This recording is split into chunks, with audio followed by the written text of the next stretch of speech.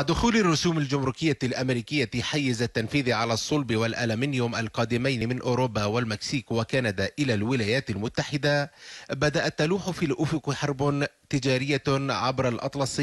من شأنها تهديد العلاقات الأمريكية الأوروبية. الرئيس الأمريكي دونالد ترامب كان توعد في آذار الماضي بطرح رسوم جمركية بنسبة 25% على الصلب و10%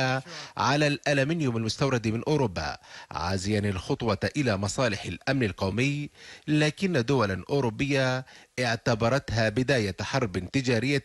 ستكون نتائجها سيئة على الجانبين. ووصف وزير التجارة الدولية البريطاني ليام فوكس قرار البيت الأبيض بأنه سخيف للغاية وألمح إلى أن المملكة المتحدة تستعد للقيام بخطوات ثأرية وإجراءات مضادة. كما اعتبرت المستشارة الألمانية أنجيلا ميركل أن الرسوم الجمركية